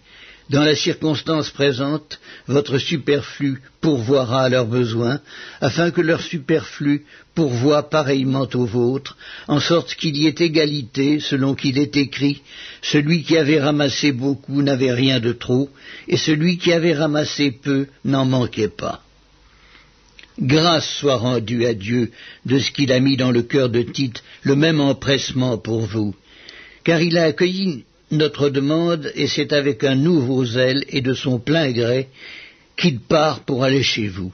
Nous envoyons avec lui le frère dont la louange en ce qui concerne l'Évangile est répandue dans toutes les églises, et qui de plus a été choisi par les églises pour être notre compagnon de voyage dans cette œuvre de bienfaisance que nous accomplissons à la gloire du Seigneur même et en témoignage de notre bonne volonté. Nous agissons ainsi afin que personne ne nous blâme au sujet de cette abondante collecte à laquelle nous donnons nos soins car nous recherchons ce qui est bien, non seulement devant le Seigneur, mais aussi devant les hommes. Nous envoyons avec eux notre frère, dont nous avons souvent éprouvé le zèle dans beaucoup d'occasions, et qui en montre plus encore cette fois à cause de sa grande confiance en vous. Ainsi, pour ce qui est de Tite, il est notre associé et notre compagnon d'œuvre auprès de vous. Et pour ce qui est de nos frères, ils sont les envoyés des églises, la gloire de Christ. Donnez-leur donc à la face des églises la preuve de votre charité et montrez-leur que nous avons sujet de nous glorifier de vous. La seconde épître de Paul aux Corinthiens, chapitre 9. Il est superflu que je vous écrive touchant l'assistance destinée aux saints.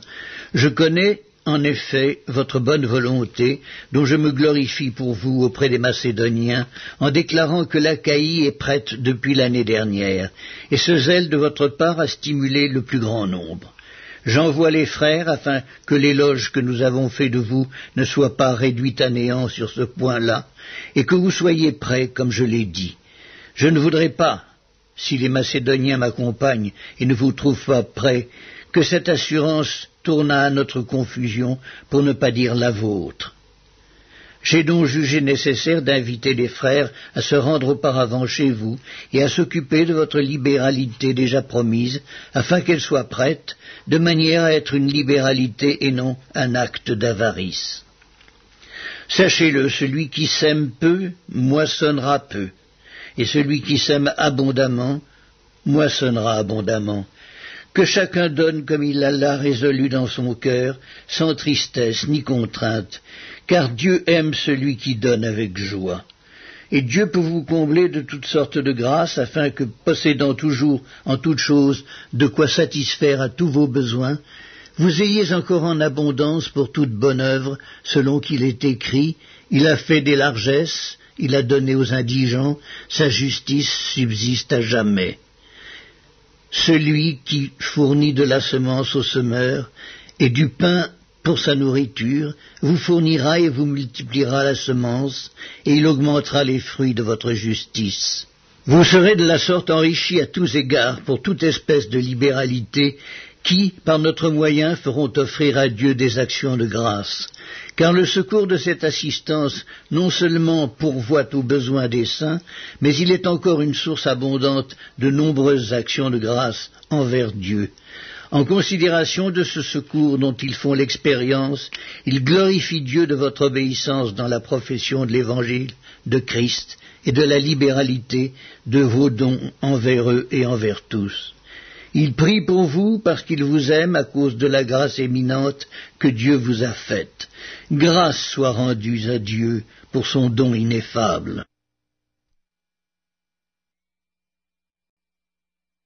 La seconde épître de Paul aux Corinthiens, chapitre 10. Moi, Paul, je vous prie par la douceur et la bonté de Christ, moi, humble d'apparence quand je suis au milieu de vous, et plein de hardiesse à votre égard quand je suis éloigné, je vous prie, lorsque je serai présent, de ne pas me forcer à recourir avec assurance à cette hardiesse dont je me propose d'user contre quelques-uns qui nous regardent comme marchant selon la chair.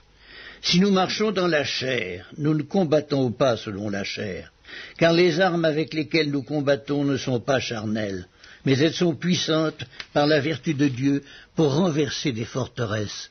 Nous renversons les raisonnements et toute hauteur qui s'élève contre la connaissance de Dieu, et nous amenons toute pensée captive à l'obéissance de Christ. Nous sommes prêts aussi à punir toute désobéissance lorsque votre obéissance sera complète. Vous regardez à l'apparence. Si quelqu'un se persuade qu'il est de Christ, qu'il se dise bien en lui-même que, comme il est de Christ, nous aussi nous sommes de Christ. Et quand même je me glorifierais un peu trop de l'autorité que le Seigneur nous a donnée pour votre édification et non pour votre destruction, je ne saurais en avoir honte, afin que je ne paraisse pas vouloir vous intimider par mes lettres. Car, dit-on, ces lettres sont sévères et fortes mais présent en personne, il est faible et sa parole est méprisable. Que celui qui parle de la sorte considère que tel nous sommes en parole dans nos lettres étant absents, tel aussi nous sommes dans nos actes étant présents. Nous n'osons pas nous égaler ou nous comparer à quelques-uns de ceux qui se recommandent eux-mêmes, mais en se mesurant à leur propre mesure et en se comparant à eux-mêmes, ils manquent d'intelligence. Pour nous, nous ne voulons pas nous glorifier hors de toute mesure. Nous prendrons au contraire pour mesure les limites du partage que Dieu nous a assigné, de manière à nous faire venir aussi jusqu'à vous nous ne dépassons point nos limites comme si nous n'étions pas venus jusqu'à vous, car c'est bien jusqu'à vous que nous sommes arrivés avec l'évangile de Christ. Ce n'est pas hors de toute mesure, ce n'est pas des travaux d'autrui que nous nous glorifions, mais c'est avec l'espérance, si votre foi augmente, de grandir encore davantage parmi vous, selon les limites qui nous sont assignées, et d'annoncer l'Évangile au-delà de chez vous, sans nous glorifier de ce qui a été fait dans les limites assignées à d'autres que celui qui se glorifie se glorifie dans le Seigneur, car ce n'est pas celui qui se recommande lui-même qui est approuvé, mais celui que le Seigneur recommande. La seconde épître de Paul aux Corinthiens, chapitre 11. Oh, si vous pouviez supporter de ma part un peu de folie, mais vous me supportez, car je suis jaloux de vous d'une jalousie de Dieu, parce que je vous ai fiancé à un seul époux, pour vous présenter à Christ comme une vierge pure. Toutefois, de même que le serpent séduisit Ève par sa ruse, je crains que vos pensées ne se corrompent et ne se détournent de la simplicité à l'égard de Christ. Car si quelqu'un vient vous prêcher un autre Jésus que celui que nous avons prêché, ou si vous recevez un autre esprit que celui que vous avez reçu, ou un autre évangile que celui que vous avez embrassé, vous le supporterez fort bien. Or j'estime que je n'ai été inférieur en rien à ces apôtres par excellence. Si je suis un ignorant sous le rapport du langage, je ne le suis point sous celui de la connaissance, et nous l'avons montré parmi vous à tous égards et en toutes choses. Ou bien ai-je commis un péché parce que, m'abaissant moi-même afin que vous fussiez élevés, je vous ai annoncé gratuitement l'évangile de Dieu? J'ai dépouillé d'autres églises en recevant d'elles un salaire pour vous servir. Et lorsque j'étais chez vous et que je me suis trouvé dans le besoin, je n'ai été à charge à personne, car les frères venus de Macédoine ont pourvu à ce qui me manquait. En toute chose, je me suis gardé de vous être à charge, et je m'en garderai, par la vérité de Christ qui est en moi, je déclare que ce sujet de gloire ne me sera pas enlevé dans les contrées de l'Achaïe. Pourquoi? Parce que je ne vous aime pas Dieu le sait. Mais j'agis et j'agirai de la sorte pour ôter ce prétexte à ceux qui cherchent un prétexte, afin qu'ils soient trouvés tels que nous dans les choses dont ils se glorifient. Ces hommes-là sont de faux apôtres, des ouvriers trompeurs, déguisés en apôtres de Christ. Et cela n'est pas étonnant, puisque Satan lui-même se déguise en ange de lumière. Il n'est donc pas étrange que ces ministres aussi se déguisent en ministres de justice. Leur fin sera selon leurs œuvres. Je le répète que personne ne me regarde comme un insensé. Sinon, recevez-moi comme un insensé, afin que moi aussi je me glorifie un peu. Ce que je dis avec l'assurance d'avoir sujet de me glorifier, je ne le dis pas selon le Seigneur, mais comme par folie. Puisqu'il en est plusieurs qui se glorifient selon la chair, je me glorifierai aussi. Car vous supportez volontiers les insensés, vous qui êtes sages. Si quelqu'un vous a servi, si quelqu'un vous dévore, si quelqu'un s'empare de vous, si quelqu'un est arrogant, si quelqu'un vous frappe au visage, vous le supportez. J'ai honte de le dire, nous avons montré de la faiblesse. Cependant, tout ce que peut oser quelqu'un, je parle en insensé, moi aussi je l'ose. Sont-ils hébreux? Moi aussi. Sont-ils israélites? Moi aussi. Sont-ils de la postérité d'Abraham? Moi aussi. Sont-ils ministres de Christ? Je parle en, homme qui extravague. Je le suis plus encore. Par les travaux bien plus, par les coups bien plus, par les emprisonnements bien plus, Souvent en danger de mort, cinq fois j'ai reçu des Juifs quarante coups moins un. Trois fois j'ai été battu de verge, une fois j'ai été lapidé, trois fois j'ai fait naufrage, j'ai passé un jour et une nuit dans l'abîme. Fréquemment en voyage, j'ai été en péril sur les fleuves, en péril de la part des brigands, en péril de la part de ceux de ma nation, en péril de la part des païens, en péril dans les villes, en péril dans les déserts, en péril sur la mer, en péril parmi les faux frères. J'ai été dans le travail et dans la peine exposé à de nombreuses veilles, à la faim et à la soif, à des jeûnes multipliés, au froid et à la nudité, et sans parler d'autre chose, je suis assiégé chaque jour par les soucis que me donnent toutes les églises. Qui est faible que je ne sois faible? Qui vient à tomber que je ne brûle? S'il faut se glorifier, c'est de ma faiblesse que je me glorifierai. Dieu qui est le Père du Seigneur Jésus et qui est béni éternellement sait que je ne mens point. À Damas, le gouverneur du roi Arétas faisait garder la ville des Damascéniens pour se saisir de moi. Mais on me descendit par une fenêtre dans une corbeille le long de la muraille, et j'échappai de leurs mains. La seconde épître de Paul aux Corinthiens, chapitre 12. Il faut se glorifier, cela n'est pas bon.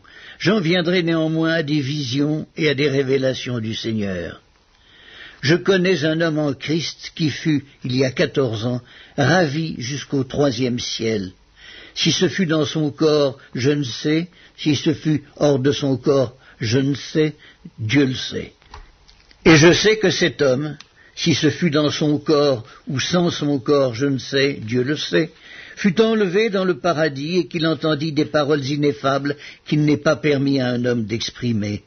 Je me glorifierai d'un tel homme, mais de moi-même je ne me glorifierai pas, sinon de mes infirmités. Si je voulais me glorifier, je ne serai pas un insensé, car je dirai la vérité, mais je m'en abstiens afin que personne n'ait à mon sujet une opinion supérieure à ce qu'il voit en moi ou à ce qu'il entend de moi. Et pour que je ne sois pas enflé d'orgueil à cause de l'excellence de ces révélations, il m'a été mis une écharde dans la chair, un ange de Satan pour me souffleter et m'empêcher de m'enorgueillir.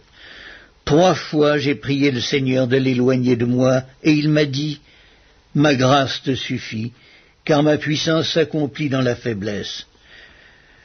Je me glorifierai donc bien plus volontiers de mes faiblesses, afin que la puissance de Christ repose sur moi.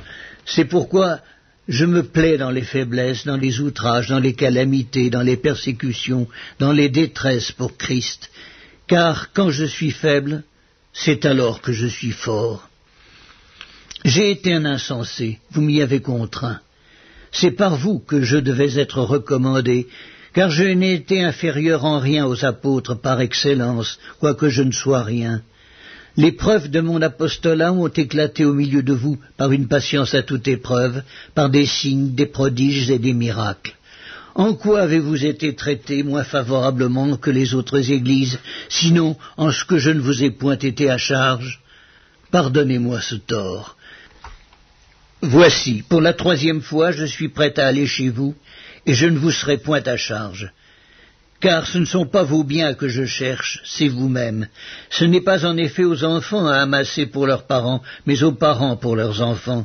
Pour moi, je dépenserai très volontiers, et je me dépenserai moi-même pour vos âmes, dussé-je, en vous aimant davantage, être moins aimé de vous. Soit, je ne vous ai point été à charge, mais en homme astucieux, je vous ai pris par ruse, et je tirai du profit de vous par quelqu'un de ceux que je vous ai envoyés. J'ai engagé Tite à aller chez vous, et avec lui j'ai envoyé le frère. Est-ce que Tite a exigé quelque chose de vous? N'avons-nous pas marché dans le même esprit, sur les mêmes traces? Vous vous imaginez depuis longtemps que nous nous justifions auprès de vous. C'est devant Dieu, en Christ, que nous parlons. Et tout cela, bien-aimés, nous le disons pour votre édification car je crains de ne pas vous trouver à mon arrivée tel que je voudrais, et d'être moi-même trouvé par vous tel que vous ne voudriez pas.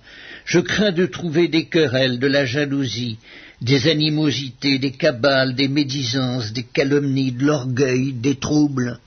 Je crains qu'à mon arrivée, mon Dieu ne m'humilie de nouveau à votre sujet, et que je n'aie à pleurer sur plusieurs de ceux qui ont péché précédemment, et qui ne se sont pas repentis de l'impureté, de l'impudicité et des dissolutions auxquelles ils se sont livrés. La seconde épître de Paul aux Corinthiens, chapitre 13. Je vais chez vous pour la troisième fois toute affaire se réglera sur la déclaration de deux ou trois témoins.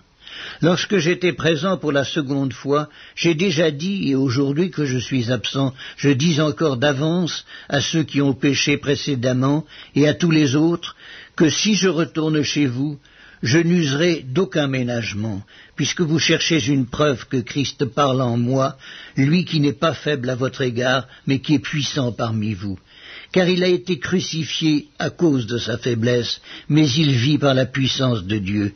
Nous aussi nous sommes faibles en lui, mais nous vivons avec lui par la puissance de Dieu pour agir envers vous. Examinez-vous vous-même pour savoir si vous êtes dans la foi, éprouvez-vous vous-même. Ne reconnaissez-vous pas que Jésus-Christ est en vous? À moins peut-être que vous ne soyez réprouvés. Mais j'espère que vous reconnaîtrez que nous, nous ne sommes pas réprouvés. Cependant, nous prions Dieu que vous ne fassiez rien de mal, non pour paraître nous-mêmes approuvés, mais afin que vous pratiquiez ce qui est bien et que nous, nous soyons comme réprouvés. Car nous n'avons pas de puissance contre la vérité, nous n'en avons que pour la vérité. Nous nous réjouissons lorsque nous sommes faibles tandis que vous êtes forts. Et ce que nous demandons dans nos prières, c'est votre perfectionnement. C'est pourquoi j'écris ces choses étant absent, afin que, présent, je n'ai pas à user de rigueur selon l'autorité que le Seigneur m'a donnée pour l'édification et non pour la destruction. Au reste, frères, soyez dans la joie, perfectionnez-vous, consolez-vous, ayez un même sentiment, vivez en paix, et le Dieu d'amour et de paix sera avec vous. Saluez-vous les uns les autres par un saint baiser. Tous les saints vous saluent. Que la grâce du Seigneur Jésus-Christ, l'amour de Dieu et la communication du Saint-Esprit soient avec vous tous.